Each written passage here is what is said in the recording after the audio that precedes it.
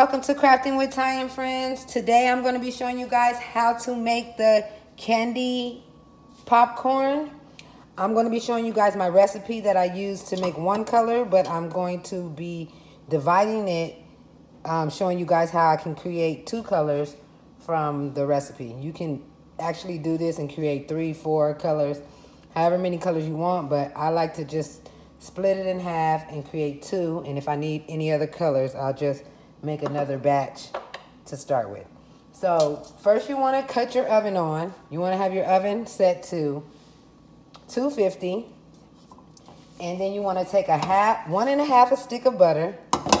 Turn your fire on. I'm going to just set it at like medium high right now.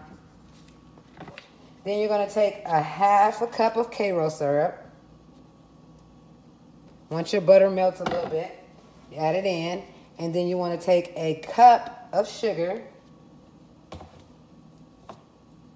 So the recipe calls for one and a half stick of butter, one cup of sugar, a half a cup of Karo syrup, and then you want to have your colors you're going to use. I'm using blue and red today. You don't need white like you do for the candy apples, but I also just add a tad bit of white. You can add color, I mean flavoring if you want. I'm not adding flavoring, but this is the flavored oil I do use is the LorAnn oils. I won't be adding flavor today. I really don't add flavor to my popcorn unless the customers ask for it because it's actually sweet already. So I'm adding my Karo syrup to my butter. Please don't use no plastic spatula like I'm doing when you mix this because this gets hot. You want to you want your um, mixture to get 250 on your candy thermometer at softball. So once you got all your ingredients in there, just let it, let your butter melt and mix it together. This is how it currently looks.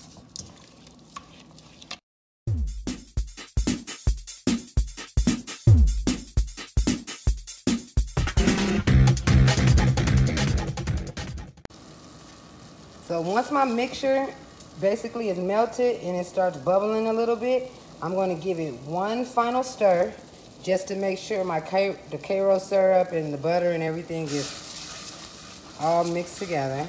I'm actually going to cut my fire off. I'm going to stir it one last time. And then I'm going to take my pot and I'm going to pour half of this liquid into a smaller pot. And this is me dividing it so I can create two different colors.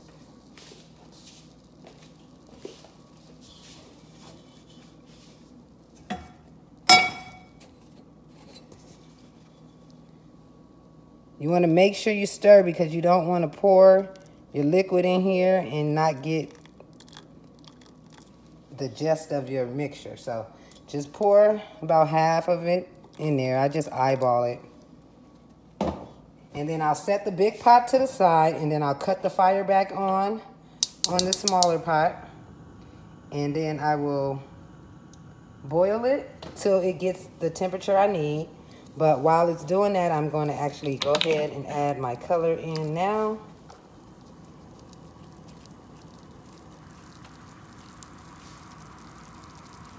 My dye is a little crazy.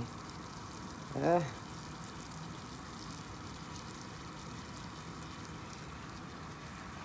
So go ahead and add your color.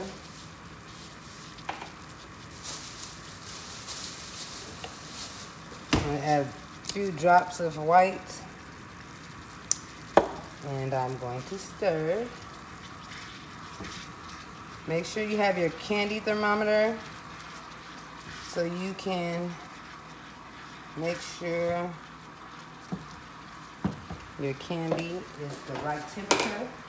You don't want it to get too hot. Remember we're doing softball stage, so around 250, 225 is where you want it to be. Then you're gonna do the same thing with the big pot or your other pots you have.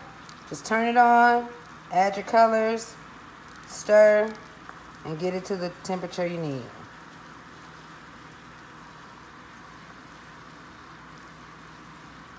So while we wait for this to um, go ahead and get to that temperature, I'm gonna do my uh, second pot, get the second pot started. So as you can see on my thermometer, I'm almost to 225 softball stage. So once your colors get to the softball stage, you wanna just pour it over your popcorn and mix it together so your popcorn can be fully coated. Add popcorn as you go. So you basically just coat your popcorn as much as you can.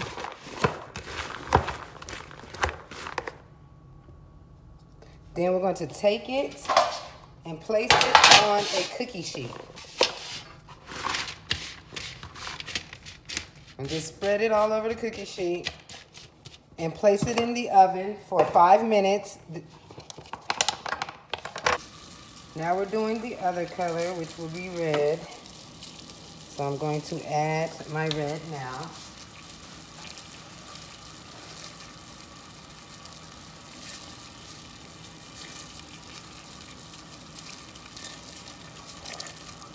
Oh yeah, I'm using my little toothpick method because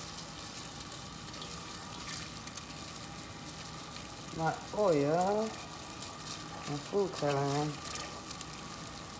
so you just go ahead again and get your mixture, your second mixture up to 225, soft ball status. So I have a couple more minutes till it's there. Then we'll coat the popcorn. But now let's go ahead and check the ones we do have in the oven. Remember you do it at five minutes. Check it. Hope you guys can see. And then I just move my popcorn around a little bit. I leave it in the oven for a total of about 15 minutes. So place it back in there.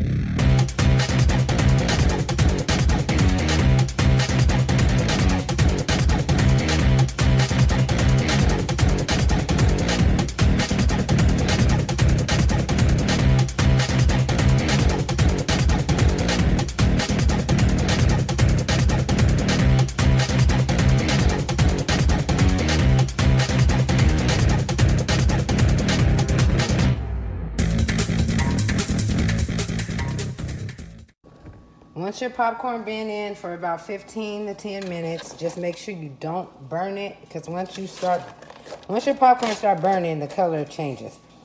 So like if I would have kept this in here longer, it'll start looking like greenish a little bit. But here's my popcorn. Fresh out the oven. What I'm doing is just mixing it a little bit and I'm going to leave it here to get crunch, to cool off and then it's gonna give it that crunch. So I'm gonna let it sit for about five to 10 minutes and then I'm going to come and bag. So once your popcorn cools off, it's gonna be crunchy and it's gonna be stuck, some pieces will be stuck together. Just take it and undo it like this. It easily comes loose. You can actually hear the popcorn now because it gives it that crunch. I'm gonna eat one. so once you get the popcorn cooled off, and just go ahead and separate your pieces. My red is still cooling. And then we can go ahead and bag this popcorn up. Now,